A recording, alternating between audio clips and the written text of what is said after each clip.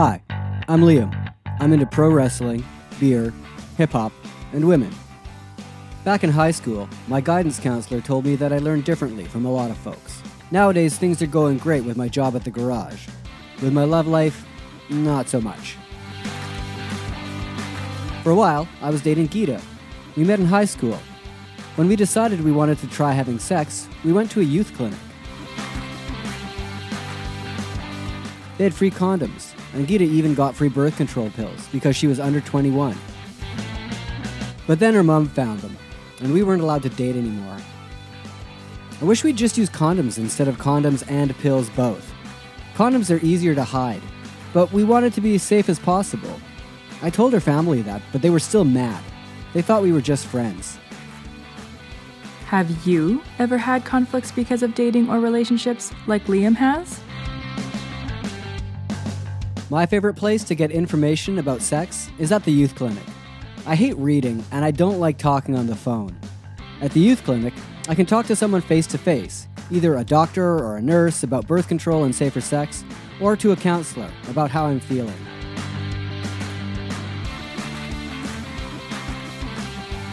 Meeting women interested in dating has been really tough. Sometimes I try to meet women at the mall, but usually they're mean to me. I've tried a dating group for people with cognitive disabilities in Vancouver called Let's Get Real. It was alright, but it's too far from me. There's also pro wrestling shows at a nearby community center that I want to check out sometime. Maybe I could meet someone there. How about you? Do you want to date anyone? How do you meet people?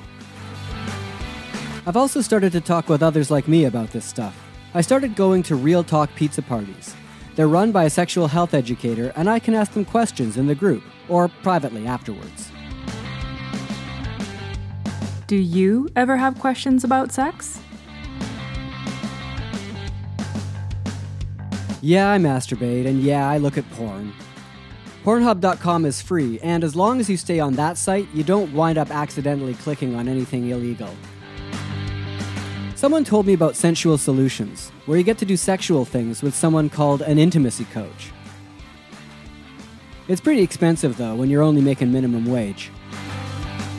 Do you get to feel sexual pleasure in your life? Liam was voiced by John Woods. The narrator was voiced by Kelsey Savage. Music is Happy Rock by bensound.com. Original illustrations by Julia Bonforte.